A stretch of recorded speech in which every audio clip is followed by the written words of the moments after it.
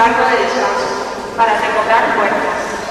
Muchas jóvenes de nuestra diócesis de Madrid aprovechan este tiempo para ayudar al pueblo, para actividades con niños y ancianos, para adquirir una formación más profunda en la fe. Pero son muchos los que cada verano optan por ir a ayudar a los misioneros que a lo largo del año trabajan por llevar a Jesucristo a todos los hombres que no le conocen. Son jóvenes estudiantes o profesionales que quieren aportar con su trabajo, oración y sacrificio su grano de arena para atender el reino de Dios. No son misioneros realmente, pero tampoco son cooperantes o voluntarios. Son jóvenes que quieren tener una experiencia cercana con lo que es la vida, la oración y el trabajo de los misioneros y misioneras repartidos por todo el mundo. En esta celebración, un grupo de esos jóvenes madrileños misioneros van a recibir la cruz, que les recuerda que son enviados. Misioneros enviados por la diócesis de Madrid a través de don Carlos Aguilar, vicario del señor arzobispo de la diócesis de Madrid para la evangelización, para llevar a los hombres el mensaje de Jesús. Que no son aventureros ni activistas sociales, sino cristianos que quieren vivir su fe entregándola y haciendo presente entre los más pobres el amor de Dios.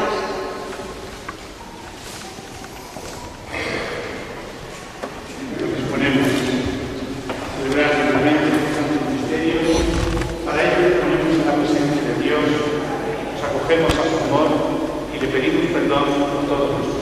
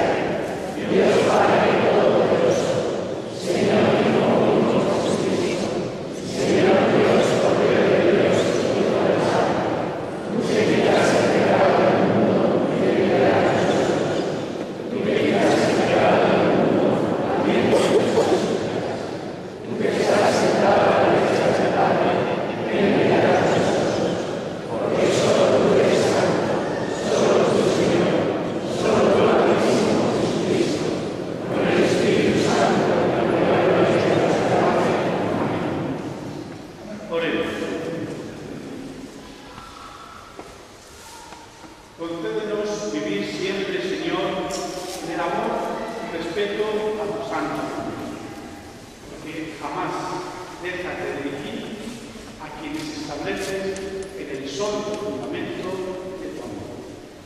Por nuestro Señor Jesucristo, tu Hijo, que contigo vive y reina en la unidad del Espíritu Santo, y es por los siglos de los siglos. Amén.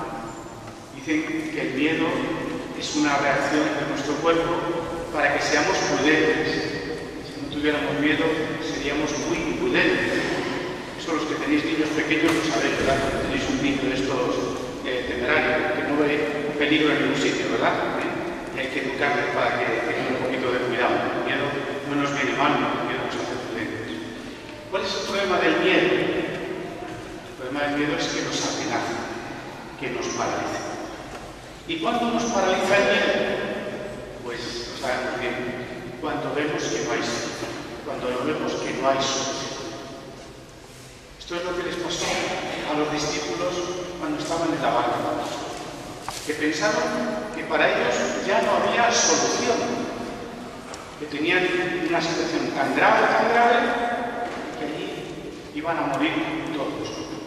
No había salida. Sin duda que cualquiera de nosotros, que no nos vayamos de misión, todos hemos pasado por situaciones en que nos hemos visto muy angustiados, que veíamos que la cosa se complicaba, se complicaba y que hemos pensado aquello de ¿y qué va a ser de mí? ¿Qué va a ser de nosotros? Pues bien, hoy la palabra de Dios viene a tratar de darnos una respuesta. ¿Cuál es esa respuesta?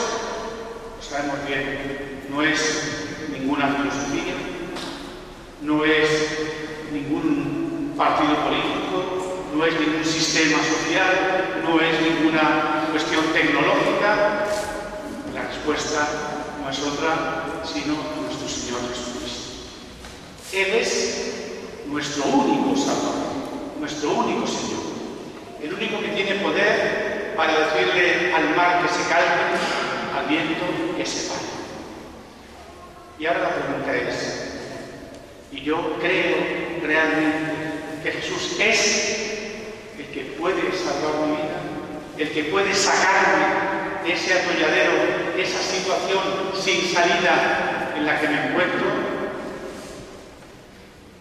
seguramente os pasará como me pasa a mí que ciertamente todos tenemos memoria, vamos cumpliendo años, todos tenemos memoria de que sí, Dios nos ha sacado, nos ha salvado de tanta situación.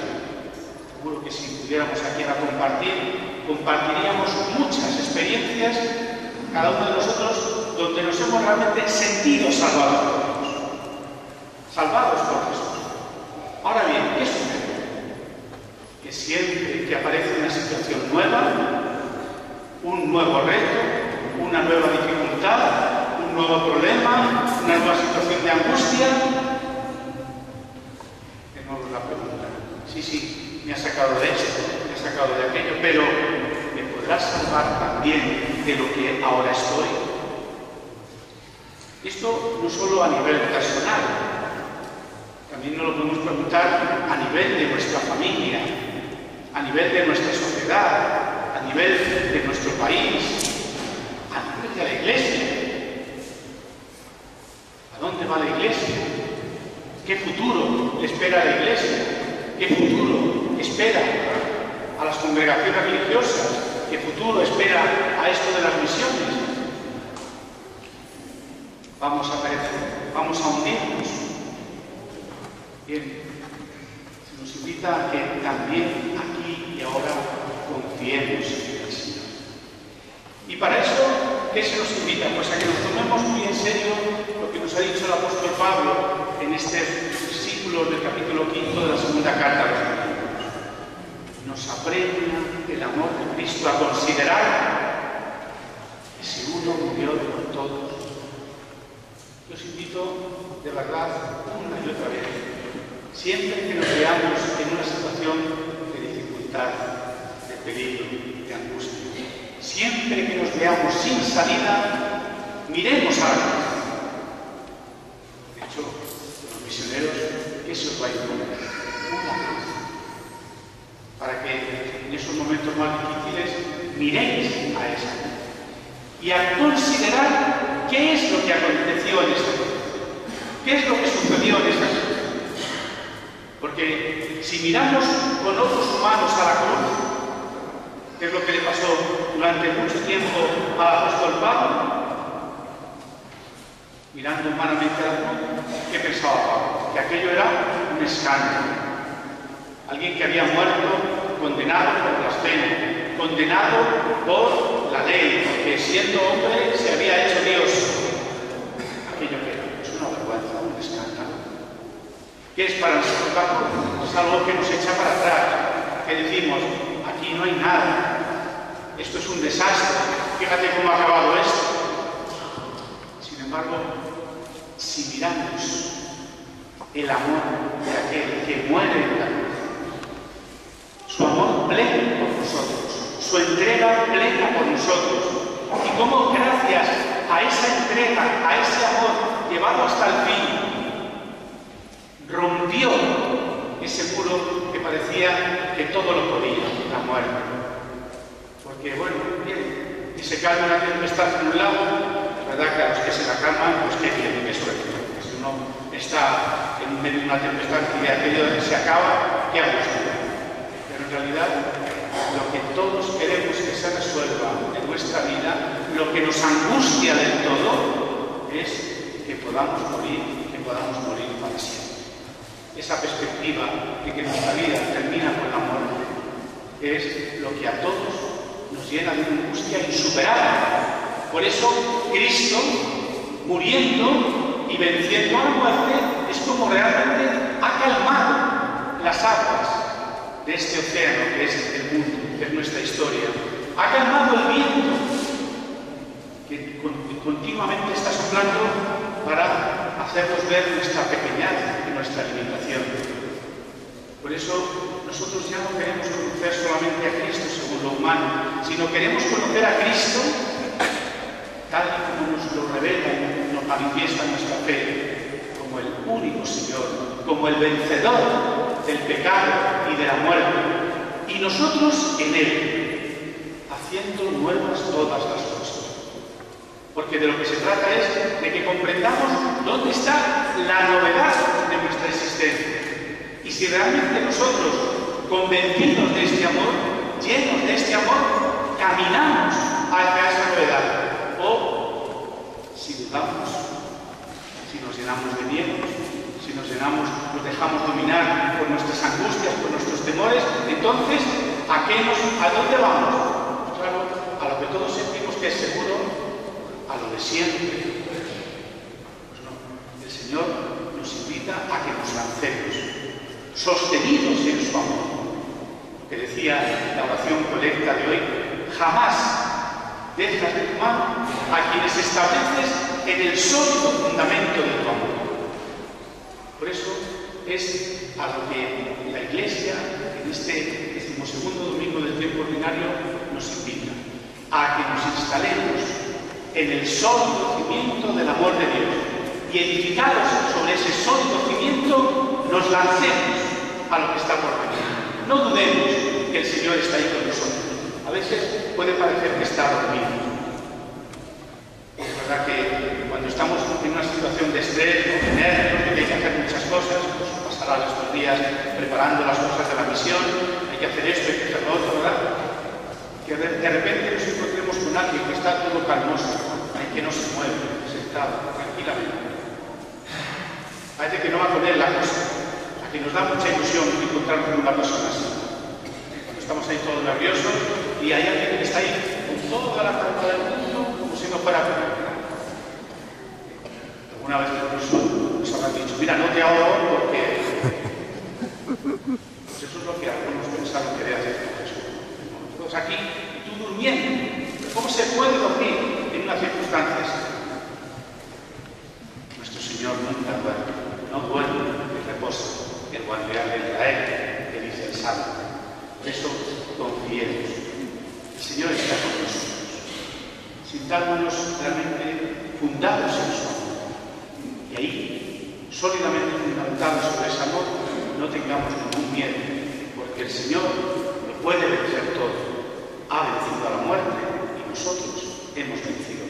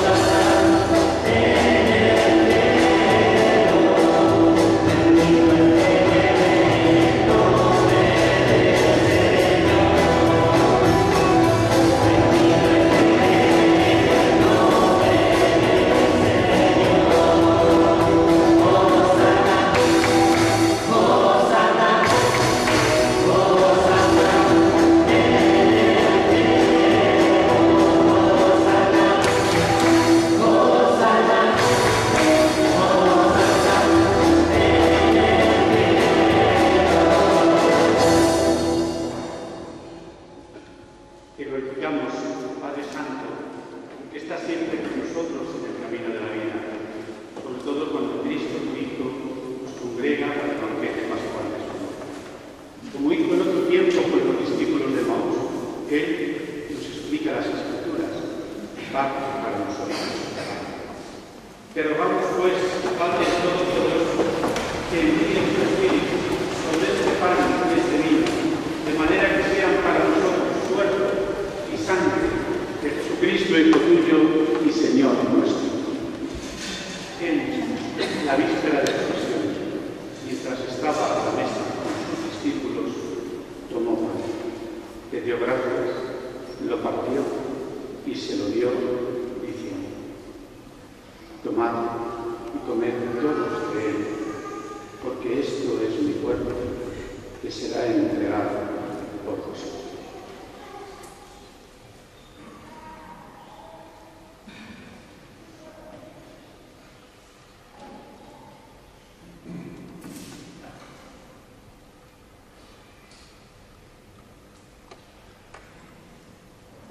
mismo modo tomó el cáliz y dio gracias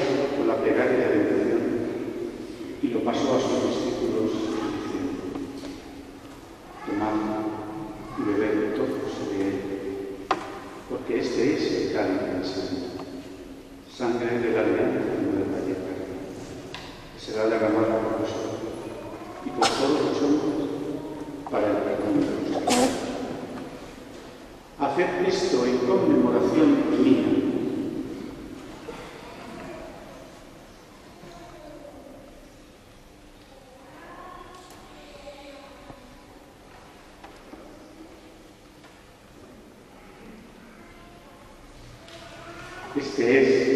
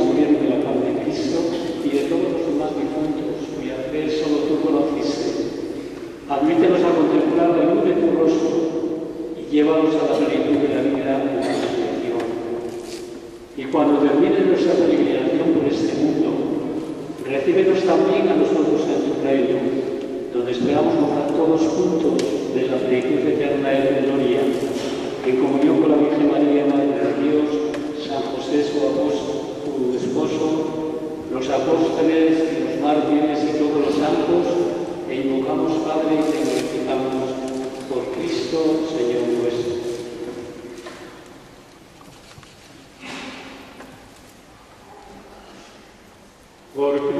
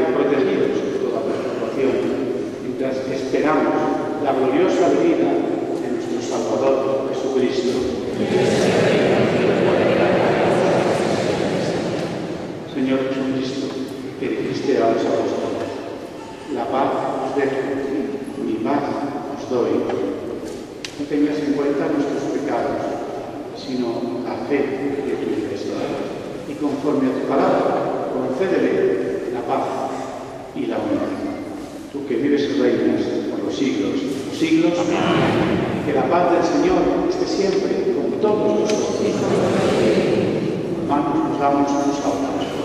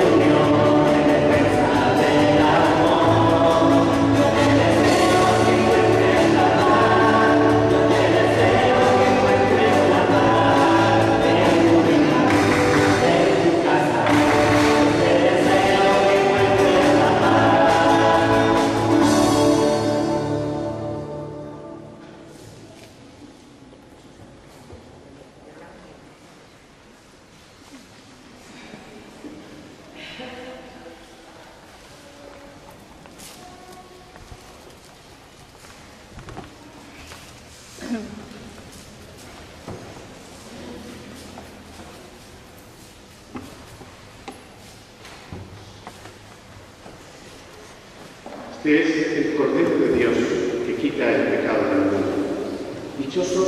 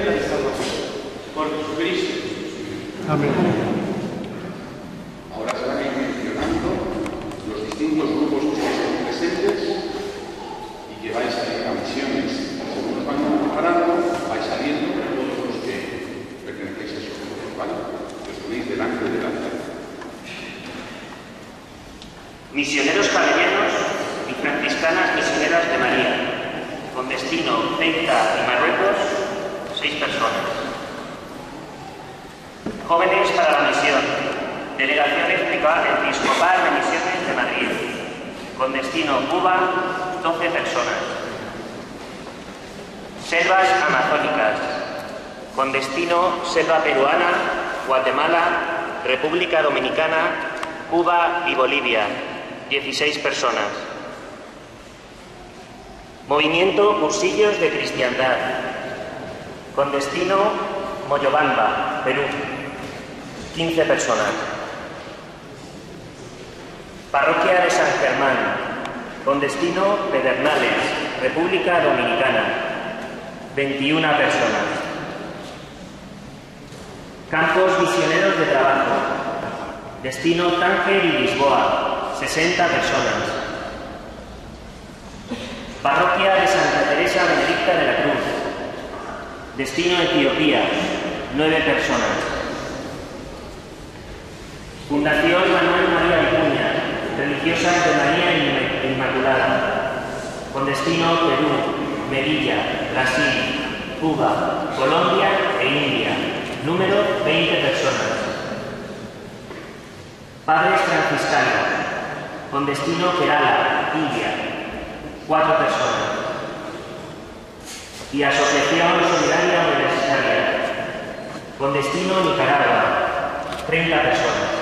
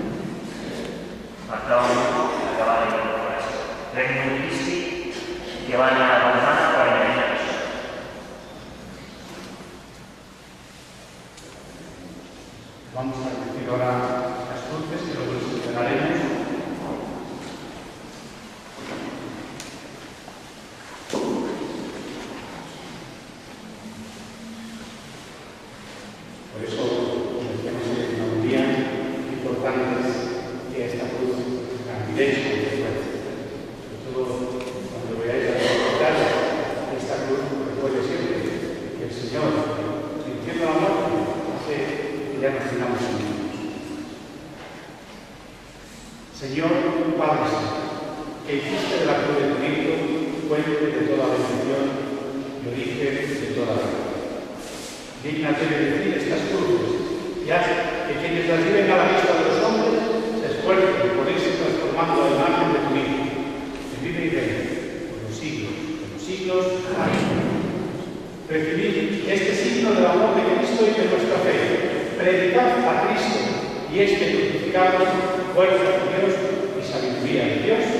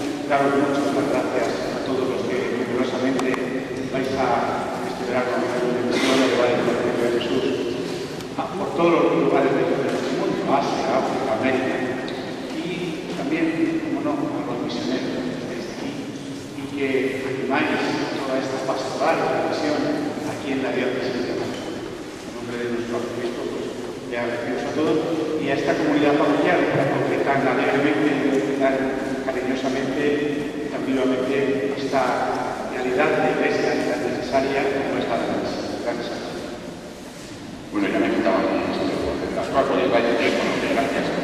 Eh, está un padre componiano, un padre familiar, un padre eh, espiritano, un padre franciscano, entonces como la, pues como la oro, pero la iglesia, de órdenes religiosas. Pero quiero dar las gracias especialmente a don Carlos. Es mi amigo mío y que se puede ubicar desde evangelización y estoy muy contento de que yo esté bajo su autoridad. Desde este